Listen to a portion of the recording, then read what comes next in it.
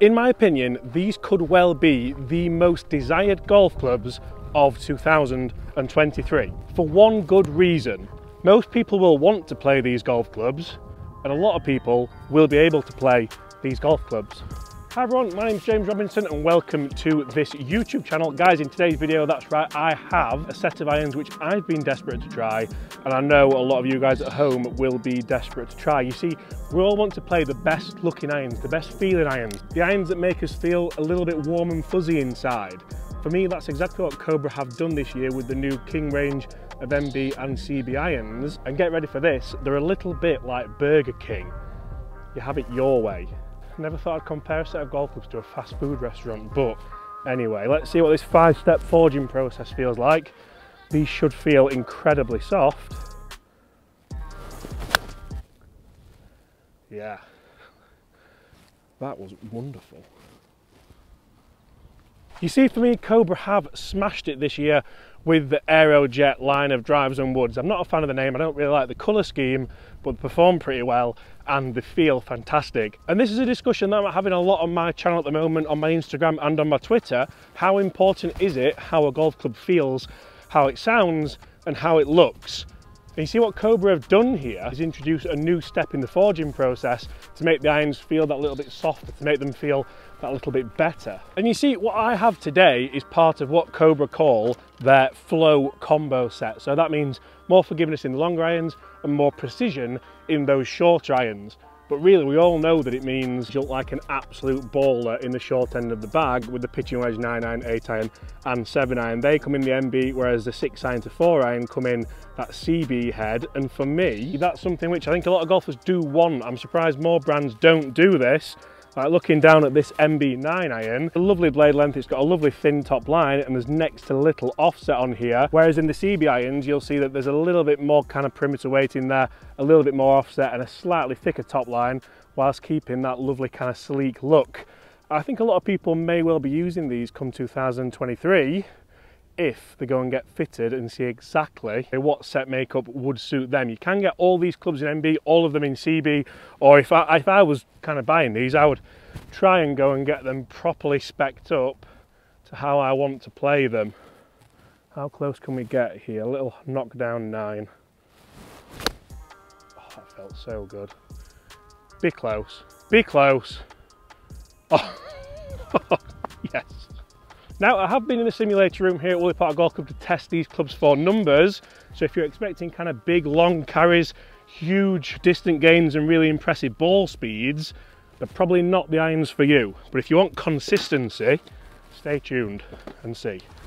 I really, really enjoyed that one. Yes, please. So you may have heard me mention at the start of this video about the five-step forging process Cobra put these irons through. And the fifth and final step sees each iron head subjected to 2,000 tonnes of pressure at 700 degrees Celsius to form a uniform and isotropic internal grain structure. And once cooled, the club heads are then polished and prepped and the faces grooved to be precision milled to enhance that feel. Now, do they feel, I'm not gonna lie, I had to read that because um, yeah, it's not something I'm gonna be able to memorize, but do they feel, are they the best, softest irons ever? No, I really don't think they are. For me, they're not as soft as, say, a set of Mizuno's. They're not as soft as, they're probably as soft as everything else, but they're not, they don't feel quite as good as a set of Mizuno's. And that does pay me to say it, because I love this concept of the kind of combo set. Oh, nearly got you. Let's see if we can roll this in for birdie. Ah, with the first hole using these Cobra irons. Turn, turn, turn. Oh. Par. And you see the big thing for me here is that consistency level, especially when I jumped in the simulator room, which I'm going to show you in just a few short moments time. And not only the consistency, but also the workability of these clubs. I've got the five iron here. This is the CB head. Looking down at it, you will see it just looks, for me, exactly how I would want a player's iron to look. It's not too scary. It's not too thin. The blade length isn't too short, but it still looks a little bit classy. It still looks a little bit traditional. And I suppose that's what a lot of better players are wanting. Look at those kind of curves. Love that. And I also love that Cobra aren't claiming to have reinvented the wheel here as well. Right, how versatile are they? Let's try and play a little draw, then a little fade off this tee. Draw first. Yeah. exactly what I want. Start right off target, finish. I'm not gonna lie, that's a little bit left of where I wanted it, but it drew nicely. What about a fade now? Can we hit the same? The key here for me is I'm gonna hit the same distance whilst hitting these two shots, ideally. Then you know you can kind of play around with them a bit. Again, not the softest of iron I've ever played, definitely not. Oh yeah. I think they're going to be right next to each other, you know. That was very enjoyable. I suppose that could be the key word of this video so far, enjoyable. And for those of you who are wondering, yes, that is snow. Bring on Orlando next week. Hopefully there'll be no snow there. Fingers crossed. And this is exactly what I wanted to see. I've left them both a little bit left, but both bang next to each other even with those two totally different ball flights. That's me what makes a good player's iron here. You can work them, you can play them while still getting a good bit of distance. Right, 150 yards, the wind is slightly off the left. I'm gonna go seven iron. I'm gonna try and just play a little knockdown shot, although I do need to still get it over these trees. That flag isn't a flag we're gonna go for. And interestingly, if you go for the flow combo set, the seven iron is the longest blade iron that you will receive. And again, it looks exactly how you'd want a standard blade iron to look. Beautiful, big fade, use the wind, should stop on a dime anyway. Little 145 shot. Come on, oh, it's just stayed out there.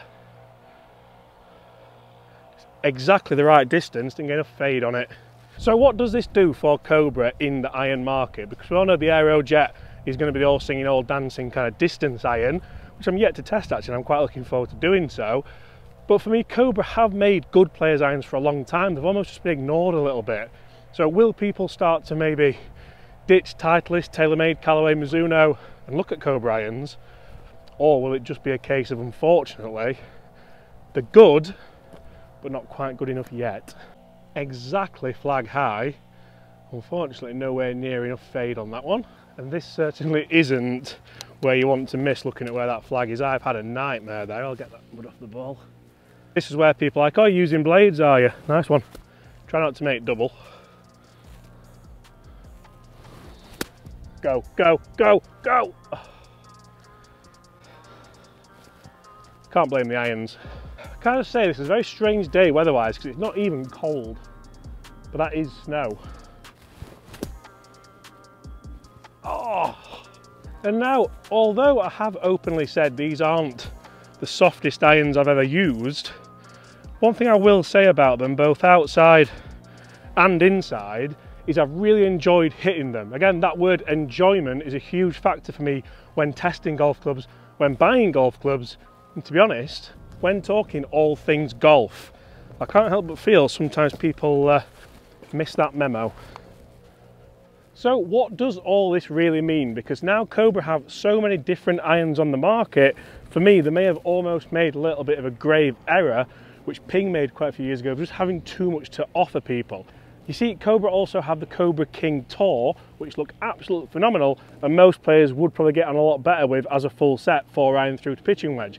We also have the Forged Tec, we have the Forged Tec X, we have the Forged Tec Utility, this is a lot of irons for people to decipher what to use. Right, we've got the 7 iron here, 165 yards out. This should be about the right club. Guys, before I hit these shots, let's jump in the studio. Let's see exactly what they were like for numbers, and then we'll see how close we can get with our three golf balls. So when testing these golf clubs inside, I wanted to give myself a little bit more of a challenge than just hitting down a range.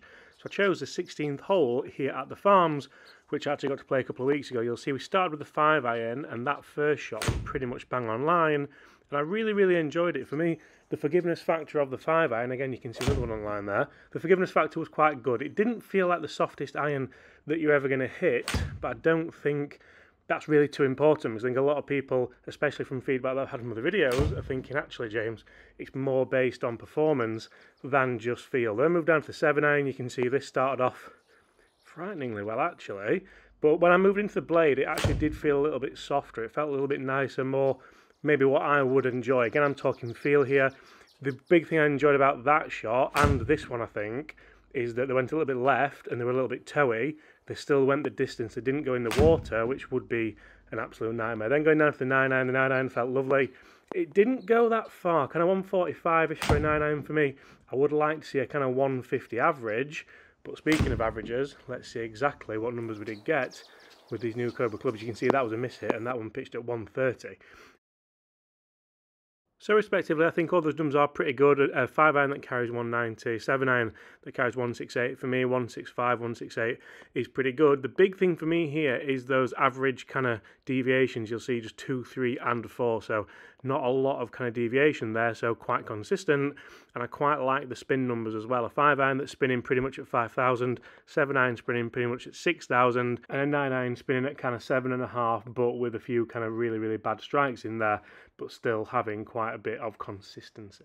So pretty good shots there all round and for me it's important that I tell you I felt like I've been swinging really well this week today when I've been testing these clubs and that certainly helps I don't feel like those numbers would be as consistent most of the time. Right, seven iron, all over it. That's a lovely low boring fly and it's bang on line, short.